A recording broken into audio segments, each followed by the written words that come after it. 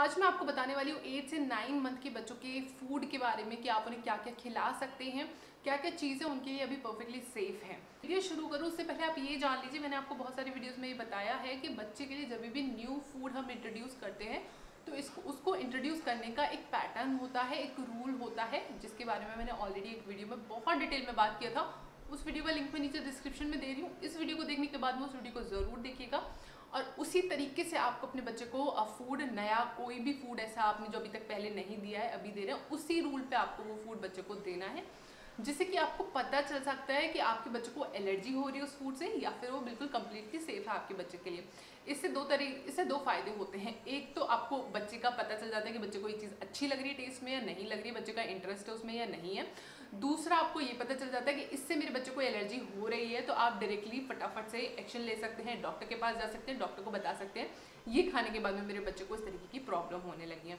तो इसलिए आप उस वीडियो को बिल्कुल भी नज़रअंदाज मत कीजिएगा, देखिएगा ज़रूर।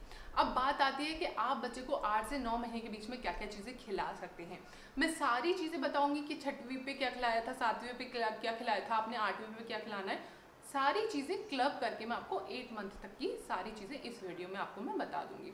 ये हमारी एक सीरीज़ चल रही है, जिसमें मैं हर महीने के बच्चे के डाइट के बारे में, खाने के बारे में बात करती हूँ।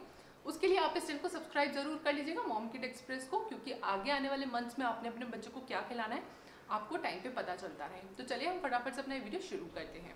पहली बात आती है फ्रूट्स की। फ्रूट्स बहुत ज़्यादा इंपॉर्टेंट है बच्चों के लिए और फ्रूट्स को डाइजेस्ट करना भी बहुत ज़्यादा अच्छा होता है। फ्रूट्स खाने में भी बच्चों को बहुत ज़्यादा अच्छे लगते हैं और मम्मी पापा के लिए बनाना भी बड़ा ज़्यादा अच्छा होता है क्योंकि फ्रूट्स को ज़्यादातर फ्रूट्स को आपने मैश करके बच्चे को दे देना होता है। कुछ फ्रूट्स ऐसे होते हैं जिनको आपने पहले बॉईल करना होता है और उसके बाद में आपने मैश करके देना होता है।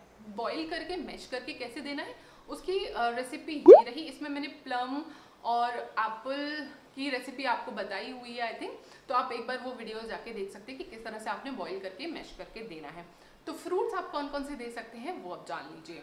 आप बच्चों को बनाना दे सकते हैं एप्पल दे सकते हैं अवाकाडो दे सकते हैं पियर दे सकते हैं मस्क मेलन दे सकते हैं आप बच्चों को प्लम दे सकते हैं प्रून दे सकते हैं, चीकू पपाया दे सकते हैं आप बच्चों को मैंगोज दे सकते हैं कीवी ग्रेप्स दे सकते हैं आप डेट्स दे सकते हैं बच्चों को और ब्लूबेरीज और चेरीज भी दे सकते हैं ये सारे फ्रूट्स जो है वो बच्चों के लिए कम्प्लीटली सेफ़ हैं अब वेजिटेबल्स की अगर हम बात करते हैं वेजिटेबल्स में आप बच्चों को कैरेट दे सकते हैं पंपकिन दे सकते हैं स्वीट पोटैटो दे सकते हैं बीट रूट दे सकते हैं बॉटल गार्ड दे सकते हैं यानी कि आप लौकी दे सकते हैं आप टमाटर दे सकते हैं आप दे सकते हैं बीन्स दे सकते हैं आप कई तरीके के बीन्स आते हैं कोई भी दे सकते हैं मटर दे सकते हैं आप बच्चों को आलू दे सकते हैं ब्रोकली दे सकते हैं फूल गोभी दे सकते हैं बैंगन दे सकते हैं अनियन दे सकते हैं अब बात आती है ग्रेन्स में तो ग्रेन्स में आप रागी दे सकते हैं राइस दे सकते हैं बारले दे सकते हैं आप वीट दे सकते हैं आप जौ दे सकते हैं भी दे सकते हैं आप साबुदाना भी दे सकते हैं और साथ ही साथ आप ओट्स भी दे सकते हैं मेरी डॉटर को ओट्स हमेशा से ही बहुत ज़्यादा पसंद थे और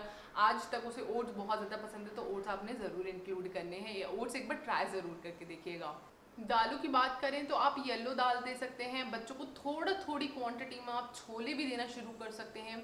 आप मसूर की दाल भी दे सकते हैं बच्चों को, जो रेड कलर की होती है, बनने के बाद पीले कलर की हो जाती है, वो वाली मसूर की दाल आप दे सकते हैं। उसके अलावा आप बच्चों को अगर हम नॉन वेजिटेरियन की बात करें तो आप बच्चों को एग योग दे सकते हैं। इसके अलावा आपने नॉन वेज में और कुछ भी नहीं देना है। साथ ही साथ डेयरी प्रोडक्ट में वही मिल्क पनीर कर्ड ये अभी चलता रहेगा।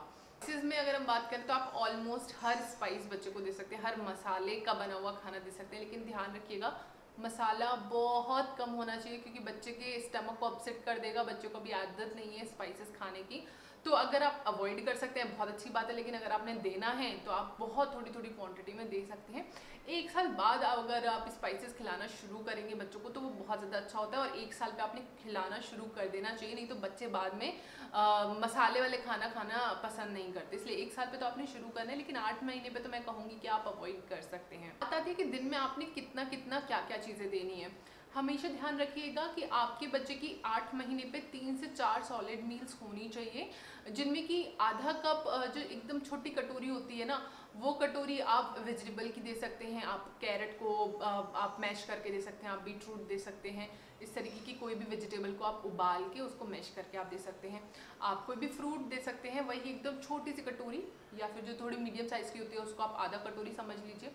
उसके अलावा सीरियल दे सकते हैं, आप आधा कटोरी जिसमें कि आप ओट्स ले सकते हैं। लेकिन अगर इन सारी मील्स में से कोई भी ऐसा होता है कि तीनों मील्स बनाना कई बार पॉसिबल नहीं हो पाता, बहुत सारी चीज़ें घर में चल रही होती है। जब घर में इतना छोटा बच्चा होता है तो उसके इतने सारे काम होते हैं कि कई बार टाइम ही नहीं मिल पाता। तो अगर ऐसा केस है तो आप एक मील को रिप्लेस कर सकते हैं जो मार्केट वाले सैरेलेक आते हैं, उनसे आप बच्चों को दे सकते हैं। अब सैरेलेक भी कितना देना उसके लिए आप एक बार ये वीडियो को ज़रूर देखिएगा। इसमें डिटेल से सैरेलेक के बारे में मैंने बताया है। इस वीडियो को ज़रूर देखिएगा। तो ये पूरी रही डाइट बच्चे जब इतना सॉलिड खाना स्टार्ट कर देंगे तो वो थोड़ा थोड़ा जो उनका दूध की क्वांटिटी है वो कम होने लगेगी तो आपको टेंशन लेने वाली कोई बात नहीं है। ये जो ट्रांजिशन है इंपॉर्टेंट है बच्चों के लिए, तभी बच्चों की बॉडी में सारे न्यूट्रिएंट्स जा पाएँगे। यही यही बच्चों को बेनिफिट करता है रात में एक लंबी नैप लेने के लिए। लंबी सो पाते हैं वो, रात में हम बार बार नहीं उठते, अगर आपके बच्चे सॉलिड्स प्रॉपरली खाना शुरू कर देते हैं। अगर आपको ये वीडियो अच्छा लगा है तो वीडियो को लाइक ज़रूर कीजिएगा चैनल को सब्सक्राइब कीजिएगा। इस तरीके के बहुत सारे वीडियोज़ बेबी केयर से रिलेटेड हमारे चैनल पर आते रहते हैं। तो चलिए मिलते हैं नेक्स्ट वीडियो में, तब तक के लिए बाय एंड टेक केयर